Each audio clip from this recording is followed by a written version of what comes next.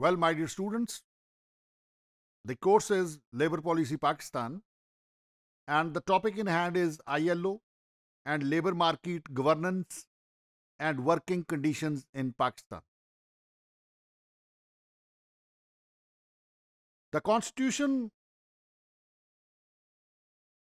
particularly the 18th Amendment Act 2010 has, my dear students, brought sweeping changes in labor administration of Pakistan with several functions previously performed by federal government devolving to the provinces with the responsibility of legislating and administering of labor laws.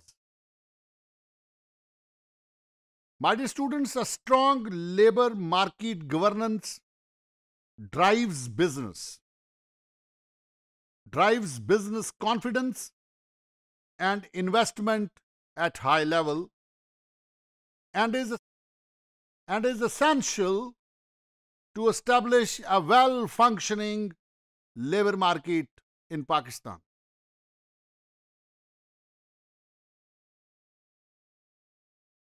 My dear students, you will be enlightened to know that Pakistan has ratified two important governance related conventions, namely Labor Inspection Convention number 81 and Tripartite Consultation Convention number 144. These conventions provide a strong foundation for development of an effective labor inspection system to meet the growing challenges of globalization and economic liberal, liberalization.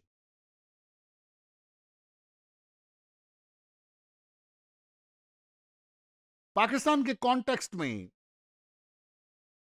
my dear students you will be enlightened to know that predominantly labor administration is devolved to the provincial governments in Pakistan.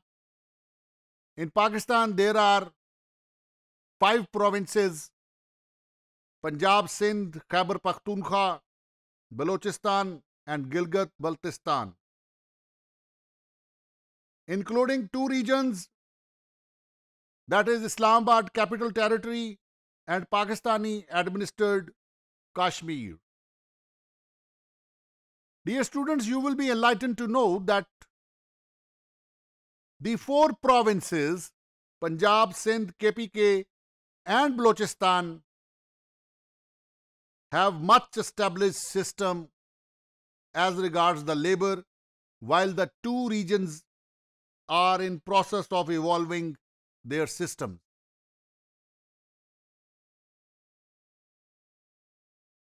You will be more enlightened to know that the provincial government of KPK is in process to put in place labor administration system in the seven newly emerged districts formerly known as federally administered tribal areas.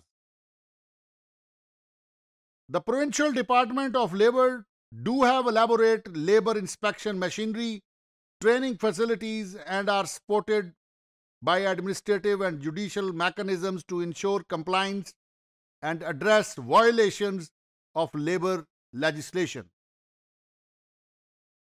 Dear students in federal government and each of the four provinces, there are tripartite consultative committees to advise mayors on labor administration to the provinces. Hope you have understood the topic. Thank you very much indeed.